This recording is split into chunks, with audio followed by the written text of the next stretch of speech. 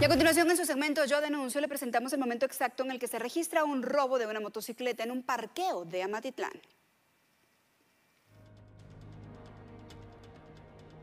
El televidente que envía estas imágenes indica que su motocicleta se encontraba en un parqueo del municipio de Amatitlán.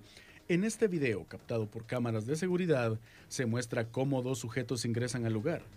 Llegan al punto donde se encuentran estacionados los vehículos de dos ruedas, se estacionan y el sujeto que viaja como acompañante desciende y en cuestión de segundos enciende la motocicleta. Se sube mientras su cómplice lo espera y huyen del lugar juntos. No les importó robar a plena luz del día, ya que según el registro de las cámaras de seguridad eran las 2 de la tarde con 41 minutos, cuando cometieron el delito. Luego de conseguir su objetivo salieron tranquilamente del parqueo. Según se puede observar, las placas de motocicleta roja en la que viajaban son 225 FTG.